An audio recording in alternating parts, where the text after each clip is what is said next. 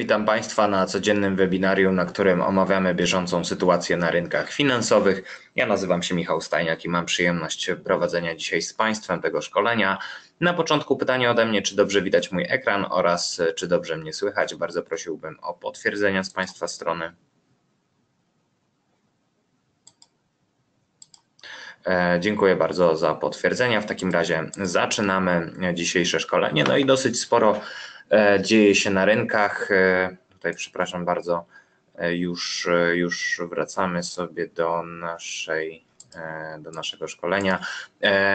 Dosyć sporo dzieje się na rynkach, dużo danych w sesji azjatyckiej, dane z Australii oraz z Chin. Wczoraj dosyć Mm, może nie zaskakująca decyzja Banku Kanady, natomiast no, e, mieliśmy spory roller coaster na USDK-zie, 200 pipsów, y, mieliśmy 100 pipsów przynajmniej w jedną, w drugą stronę. Obecnie e, no, rynek nie może się zdecydować na konkretny e, kierunek na USDK. Dzisiaj, e, jeśli chodzi o kalendarz makroekonomiczny, no to nie jest on może jakiś bardzo bogaty w takie pierwszorzędne dane, ale przede wszystkim dane ze Stanów Zjednoczonych oraz zapasy ropy naftowej w USA mogą tutaj dosyć dużo nam e, pokazać. No i jakie rynki dzisiaj euro, dolar, USD CAD, AUD, USD, Euro, PLN, DAX e, oraz ropa. I jeszcze może spojrzymy sobie na Bitcoin, bo nie wiem, czy Państwo wiedzą, ale wracamy, wracamy z, z ofertą na Bitcoina. Oczywiście e, jest to nieco inna oferta. Bitcoin w tym momencie na kontraktach tygodniowych, czyli, czyli, czyli generalnie E, maksymalne utrzymanie pozycji trwa 7 e, dni, więc jest to, jest to oferta skierowana przede wszystkim do, e, do graczy krótkoterminowych, jeśli chodzi o kryptowaluty. No i dosyć sporo dzieje się, dzieje się na, oczywiście na kryptowalutach. Są one bardzo mocno wyprzedane, więc, więc jeśli czasu nam wystarczy, to mm, spojrzymy sobie jeszcze właśnie na, na to, co dzieje się na Bitcoinie. No i lecimy sobie już do naszego kalendarza. W przypadku kalendarza przede wszystkim bardzo dobre dane dotyczące zatrudnienia w Australii. Mieliśmy lekki wzrost stopy bezrobocia natomiast ona wynikała ze wzrostu, e, ze wzrostu e,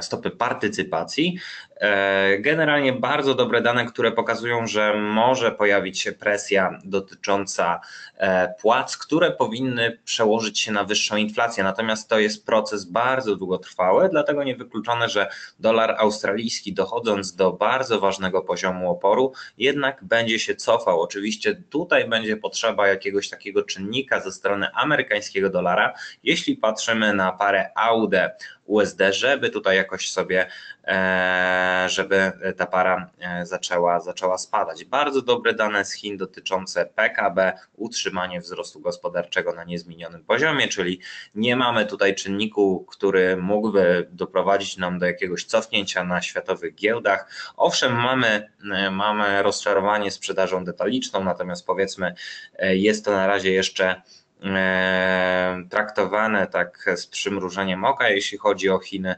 No i co dalej, co czeka nas jeszcze dzisiaj e, w trakcie tej sesji europejskiej oraz początku amerykańskiej, czyli to pozwolenia na budowę domów w Stanach Zjednoczonych. E, mamy również starty budowy domów, mamy claimsy, E, które mają dosyć wyraźnie spaść. Mamy e, lokalny wskaźnik Philly Fed, e, no i oczywiście zapasy ropy naftowej w Stanach Zjednoczonych. Tutaj w przypadku tych zapasów raport API wskazał na większy spadek powyżej 5 milionów dolarów, więc widać, że jednak pomimo tego, że sezonowo jest to okres, kiedy powinniśmy się spodziewać wzrostu zapasów, to jednak zapasy nam spadają, co E, utrzymuje nam bardzo, wysoką, e, bardzo wysoki poziom cen ropy naftowej. No i przechodzimy sobie już do euro-dolara. Tutaj chciałbym pokazać trzy wykresy, e, więc jakby nie będę się tutaj skupiał na tym, co dzieje się od strony fundamentalnej. Oczywiście dzieje się dosyć sporo. Wystarczy wspomnieć o minec z Europejskiego Banku Centralnego, o lepszej inflacji ze Stanów Zjednoczonych. Natomiast to powiedzmy pozostawmy jeszcze E, jeszcze na dalsze rozważania, ze względu na to, że powiedzmy ta sytuacja od strony fundamentalnej się nieco uspokoiła. Natomiast chciałbym tutaj zwrócić uwagę na trzy wykresy e, techniczne, przede wszystkim na H4, potem na W1 i na W1 e, patrząc na nieco dłuższy okres czasowy. No i tutaj mamy bardzo wyraźne wsparcie na, na, na, na, w tym momencie na H4, natomiast no już na W1 wygląda to zdecydowanie inaczej. E, patrzymy sobie w tym momencie na H4, widać tutaj bardzo silne wsparcie, mamy również e, nie tyle wsparcie przy 23,6 oraz przy górnym ograniczeniu wzrostowego kanału trendowego, ale również w strefie popytowej, tutaj w okolicach poziomu 1,2050 mamy lokalne szczyty, e, również, również sprzed kilku, sprzed kilku miesięcy, więc widać, że jest to dosyć silna strefa popytowa. E, widać, że już e, tutaj po tym bardzo silnym spadku e, para troszkę tutaj odrabia nam straty. Widać, że nie ma, nie ma tutaj chęci do dalszego impetu spadkowego. Natomiast no, pytanie, czy nie będziemy mieli retestu tutaj tych okolic i jak zachowa nam się wtedy para. No i jeżeli chodzi o e, W1, to chciałbym zwrócić uwagę na, e, ten, e, na tą formację trójkąta, którą sobie omawialiśmy, omawialiśmy sobie może nie w zeszłym tygodniu, bo w zeszłym tygodniu byłem tylko w poniedziałek, ale dwa tygodnie, dwa tygodnie temu i właśnie mamy powiedzmy, że w pełni zrealizowane to wybicie z trójkąta. Mamy na zniesieniu 50.0 E, tej ważnej fali spadkowej, prawda, z 2014 roku mamy dosyć wyraźny pin bar na W1. Oczywiście mamy całe dwie sesje praktycznie przed nami, żeby tutaj mm,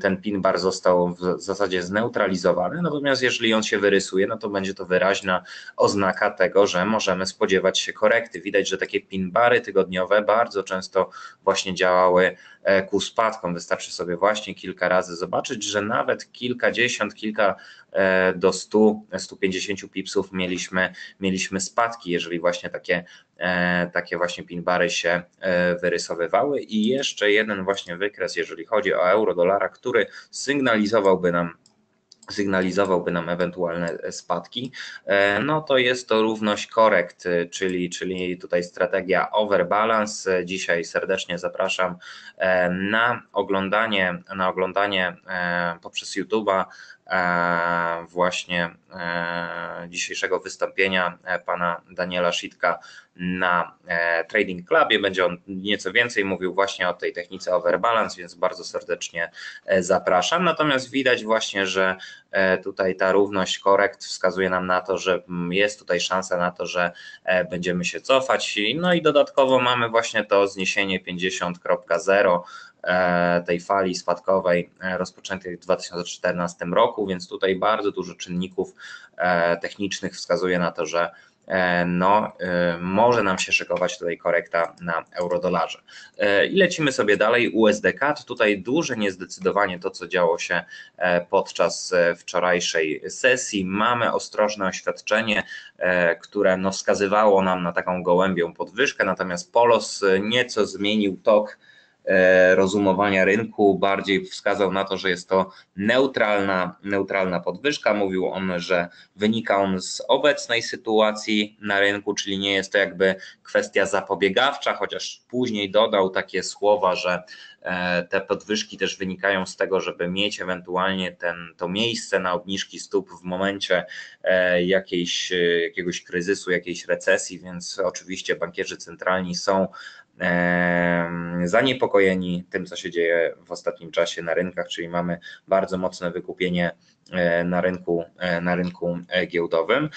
Natomiast ważne jest to, jak się zachowa nam para przy poziomie 1,25. Jeżeli para pozostanie poniżej tego poziomu, no to wtedy możemy oczekiwać, że jednak ten kierunek pozostanie spadkowy, choć oczywiście tutaj dużo też będzie nam robić ropa naftowa. Jeżeli ropa naftowa szykuje nam się do ewentualnego cofnięcia, no to wtedy również e, dla Kada będzie to źle. Natomiast jeżeli miałbym tutaj grać przeciwko e, dolarowi dolarowi kanadyjskiemu. Byłaby to para, byłaby to para NZD CAD i tam grałbym pod zwyżki. Natomiast jeżeli chodzi o samego USD CAD, to tutaj właśnie widać tę silną strefę podażową przy zniesieniu 50.0 tej ostatniej fali wzrostowej oraz 23,6 fali spadkowej, dużej fali spadkowej z zeszłego roku.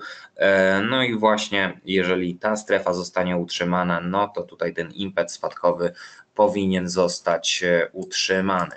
E, no i para AUD USD ze względu na dzisiejsze dane, czyli bardzo dobre dane, natomiast nie widać jakiejś bardzo dużej presji na wzrosty na tej parze.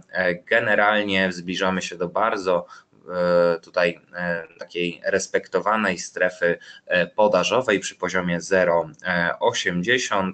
Bardzo często para się z tego poziomu cofała, pomimo tego, że perspektywy wzrostowe wskazywały na kontynuację trendu. Natomiast oczywiście również dolar nam się tutaj budzi do budzi po, po do dużych wyprzedażach. Generalnie nie ma takich powodów dużych do tego, żeby dolara wyprzedawać. Oprócz tej sprawy z Chinami, która jeżeli Państwo tutaj śledzą TradeBita, to pisaliśmy o tym, że e, Chiny e, no, mogą przynajmniej takie plotki się pojawiły, że Chiny mogą zakończyć skup e, amerykańskich obligacji, no i wtedy E, przy prowadzonym zacieśnianiu ilościowym ze strony Fedu, no to to mogłoby doprowadzić do bardzo dużego wzrostu rentowności, co niekoniecznie byłoby dla dolara amerykańskiego w dłuższej perspektywie e, dobre. E, I już sobie przechodzimy do wykresu. Na AUD USD mamy właśnie tą bardzo silną strefę oporu tutaj w okolicach poziomu 0,8. Widać, że ona była respektowana wielokrotnie. E, mamy natomiast właśnie ten silny impet związany z tym e, trendem wzrostowym. Widać tutaj porówności korekt, że mm, tutaj nawet nie doszło właśnie do tej korekty, do realizacji tej ostatniej korekty, więc, więc tutaj, tutaj możemy sobie właśnie e, szukać, szukać nowego miejsca, e, ewentualnego odwrotu. Na razie, na razie nic nie wskazuje na to, że, że ta para e, nam się z tych poziomów zacznie cofać, natomiast już przy poziomie 0,8 takich szans bym szukał, w szczególności, że jakby mamy dostosowanie AUD USD do rynku surowców. Tutaj akurat mamy ceny miedzi, więc, więc jest szansa na to, że jednak AUD USD zaliczy nam korektę, dochodząc tutaj do poziomu 0,8. Na razie wsparcie bardzo silne przy 23,6, natomiast jeżeli dojdzie nam właśnie do przebicia tej największej korekty w trendzie, no to wtedy szukałbym oczywiście e, jakichś większych spadków na tej parze. E, EuroPLN nieco umocnił się w ostatnim czasie, tutaj również po równościach korekt mieliśmy obronę tego, mm, tego zasięgu E, tutaj bardzo silny właśnie opór przy poziomie 4,19. Na razie impet nam wskazuje na możliwe zejście do poziomu 4,10, ale to będzie wymagało oczywiście mm, słabszego dolara oraz mocniejszego DAX-a, czyli powiedzmy takie e, opozycyjne, opozycyjne e, takie trendy rynkowe. No i oczywiście E, no i oczywiście e, bardzo silna gospodarka, ale nie powinna ona wywierać presji na podwyżki stóp procentowych e, w Polsce. E, no i patrzymy sobie już na wykres, widać, że właśnie te, te równości korekt, tutaj mieliśmy obronę, e, fałszywe wybicie na EuroPLN. EuroPLN już nam wyraźnie dzisiaj spada, szykuje się testowanie zniesienia 100, czyli początku tej ostatniej fali wzrostowej. Jeżeli to zostanie pokonane, to jak najbardziej będziemy szukać nowego nowego niższego dołka przy poziomie 4,13, a następnie prawdopodobnie również zgodnie z trendem korekta do 4,15, 4,15,50 i spadek do 4. 10. I zanim przejdziemy sobie dalej, to jeszcze bym e, popatrzył sobie na Bitcoina, bo tutaj tak w e, bardzo, bardzo krótkim e, terminie ciekawa, ciekawa sytuacja. Tutaj no bardzo ładny taki RGR na M15 nam się pojawił Tutaj właśnie jak patrzyłem sobie, to dochodziło do przebicia. Tutaj widzieli, y, mieliśmy dosyć wyraźny e, cień, natomiast e, tutaj mamy, mieliśmy jednak wybicie. No i widać, widać, że jednak siły jakby tutaj impetu e, na M15 do wzrostów nie ma. Mamy przy zniesieniu 61.8 bardzo dużej fali wzrostowej oczywiście, jeżeli sobie popatrzymy, mm, może nie na W1, ale na D1 widzimy, że jest to bardzo ważny poziom. E, oczywiście na W1, na D1 wygląda to bardziej na to, że jednak popyt nam się tutaj tworzy, natomiast jeżeli sobie zejdziemy na te niższe interwały czasowe, no to jest szansa tutaj na realizację właśnie tego e, RGR-a, natomiast pojawia nam się oczywiście ten też RGR E, większy, gdyż e, tutaj, e, tutaj mamy, mamy takiego RGR-a. Jeżeli tutaj by nam się drugie ramię wyrysowało, no to jak najbardziej szansa na, te, na realizację również tego RGR-a, co by nam się zgadzało właśnie z tym, co dzieje się na, co dzieje się na D1, czyli E, czyli właśnie mamy tą silną strefę popytową. E, natomiast oczywiście to jest tylko i wyłącznie e, czysto techniczne spojrzenie. Tutaj, jeżeli chodzi o fundamenty, to raczej, raczej nie, ma, nie ma w tym momencie o czym mówić. Jest szansa tutaj na odbicie, chociaż ten, ta świeca, ten, ten impet wskazuje na to, że jest szansa na tutaj okolice nawet 8,5 tysiąca E, za jednego bitcoina. No i wracamy sobie już do naszej analizy. DAX teraz e, dosyć, dosyć nisko, natomiast górna granica konsolidacji, która była dosyć wyraźnie e, respektowana w przeszłości przez DAXa, w tym momencie stanowi wsparcie, natomiast bardzo blisko również opór na luce popytowej sprzed kilku miesięcy. DAX jest tutaj słaby ze względu na to, że nie mamy E, koalicji, w dalszym ciągu nie mamy osiągnięcia koalicji, natomiast jeżeli taka koalicja by została utworzona, to wtedy DAX jak najbardziej powinien być silniejszy, no i ewentualna korekta na euro, której byśmy tutaj e, oczekiwali, również byłaby bardzo dobra dla niemieckiego DAX-a, czyli tutaj mamy wsparcie właśnie przy górnym ograniczeniu tej konsolidacji. Również jest to zniesienie 50.0 tej ostatniej fali Mm, fali e, spadkowej, natomiast e, opór też bardzo blisko i właśnie mamy teraz respektowanie tego oporu przy zniesieniu 61.8 i jest to dolne ograniczenie e, tej luki popytowej. No i tutaj bardzo ciekawie również jak rozmawialiśmy sobie prawdopodobnie w poniedziałek albo dwa tygodnie temu, mieliśmy tą właśnie lukę ucieczki. Ta luka ucieczki nam sugerowała nieco wyższe wzrosty, natomiast widać, że jednak, że jednak tutaj ten trend był e, już na wyczerpaniu i mieliśmy dosyć wyraźny wzrost, więc jeżeli teraz ponownie takie wzrosty by się pojawiły i następnie taka szarpana luka wzrostowa, niewykluczone, że będzie to również e, wskazanie na e, lukę ucieczki. No i ropa naftowa, tym razem ropa Brent, ze względu na to, że ropa Brent znajduje się zdecydowanie przy takich poziomach e, wykupienia. Mamy okolice 70 dolarów za baryłkę, mamy tutaj bardzo dużo oporów w postaci ograniczenia kanału wzrostowego, mamy również silną strefę podażową, no i przede wszystkim RSI. Wczoraj wczoraj właśnie opublikowałem taki dosyć ciekawy artykuł, również ze względu na, na, na to, co dzieje się technicznie na ropie naftowej.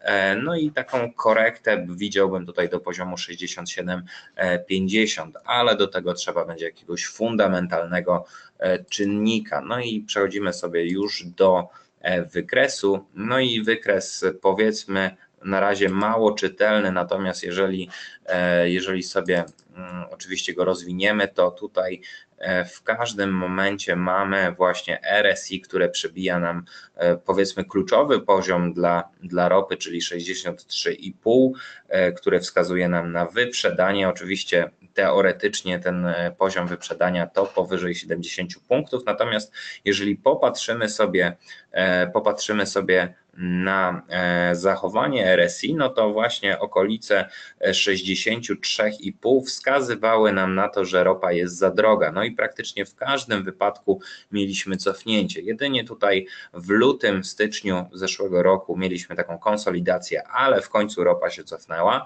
E, no i oczywiście w listopadzie. W listopadzie również mieliśmy wyprzedanie i niewielka korekta i później, później konsolidacja. Te, te, teraz w tym momencie również mamy, mamy właśnie wyprzedanie wyraźnie powyżej 70 punktów nawet na, e, na RSI, więc to wskazywałoby nam na to, że ropa może nam się szykować do korekty. No i szukałbym właśnie 67, 50, 66, 80.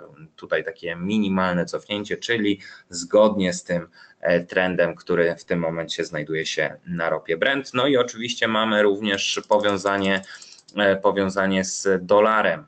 Jeżeli jeżeli dolar nam się zacznie umacniać, no to wtedy również będzie to jak najbardziej e, negatywne dla ropy, więc tutaj bardzo dużo takich czynników powiązanych.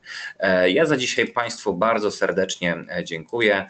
E, życzę, życzę powodzenia na rynkach finansowych i zapraszam jutro na godzinę 9.45. Dziękuję jeszcze raz oraz do usłyszenia.